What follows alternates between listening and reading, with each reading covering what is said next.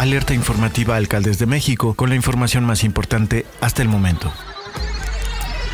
Al menos durante los siguientes 30 años, México seguirá utilizando combustibles fósiles en una proporción importante, lo cual, aunado a la demanda por relocalización de empresas, da sentido al planteamiento de construir una nueva refinería sin que se descuide la política de transición energética, consideran especialistas del sector. La dependencia a cargo de Rocío Nale refirió que el país tiene un déficit de gasolinas. Más de 500 millones de autos consumen combustible diariamente, lo que equivale a más de 1.2 millones de barriles de gasolinas. Mitad de esa demanda se cubre con importaciones, pero se busca restar esa dependencia de insumos extranjeros y ser autosuficientes, con el aumento de producción del Sistema Nacional de Refinación con Deer Park y Dos Bocas. A partir del 2035 bajará la demanda del mercado mexicano y podría ser más rápido si las políticas actuales fueran actualizadas en el poder tener una transición rápida de carros de combustión a eléctricos.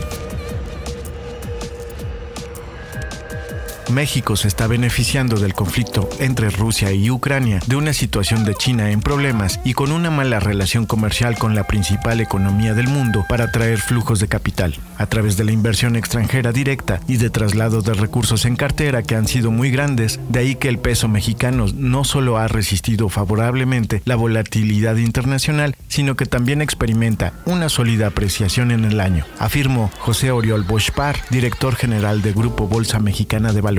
ante la recomposición de portafolios de inversión a escala internacional, el mercado accionario de México se benefició de la migración de posiciones en activos, al registrar un sustancial aumento de capital foráneo en julio. De acuerdo con cifras del Banco de México, el saldo de la posición de inversionistas extranjeros en el mercado accionario mexicano pasó de 177.215.9 millones de dólares al cierre de junio a 186.237 millones de dólares en julio, logrando un máximo histórico para el país.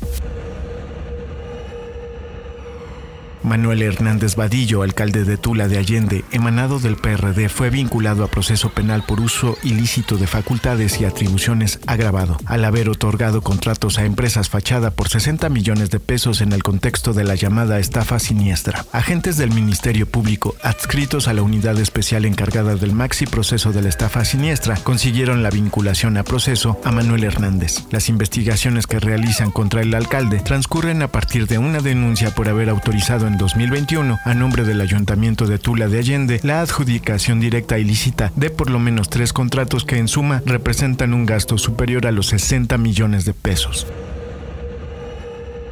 Los centros de justicia para las mujeres en la Ciudad de México han beneficiado a quienes se han atrevido y decidido a poner un alto a la violencia que han vivido y han depositado su confianza en ellos para ayudarles a sanar, abrir las puertas a la justicia y recuperar su proyecto de vida libre de violencia. En el octavo aniversario del Centro de Justicia para las Mujeres sede Azcapotzalco, la fiscal general de justicia de la Ciudad de México, Ernestina Godoy, informó que se han otorgado 4.158 medidas de protección. De esta manera se han prevenido e impedido que las mujeres continúen siendo víctimas de la violencia o de la consumación del delito más atroz cometido en su agravio, como lo es el feminicidio, señaló.